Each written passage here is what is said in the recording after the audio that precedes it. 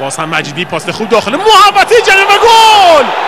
اینم گل سوم آرش برهانی.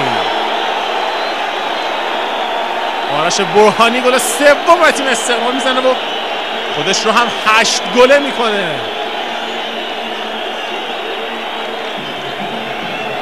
بازی خوب فرهاد مجیدی و باز هم واسه گلی که مجیدی میده و برهانی کار تمام می‌کنه. یه لحظه دیر از دروازه بیرون اومد. حسین آشنا و همین کافیست تا با پرش خودش. برهانی به خوبی دروازه نفت رو باز کنه.